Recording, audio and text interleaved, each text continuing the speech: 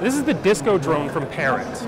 It is a wing drone that can fly 50 miles per hour, and you get about 45 minutes of flight time on a single charge.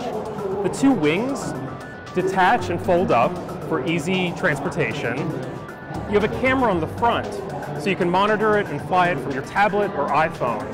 There's also a sensor here that measures airspeed and the balance of the, of the drone.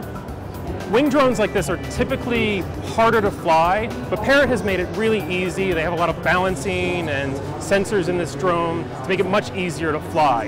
And when you're ready to fly it, all you do is you toss it up into the air and the drone takes off on its own. Parrot has yet to announce pricing and release dates, but uh, this thing is sure going to be a lot of fun for somebody.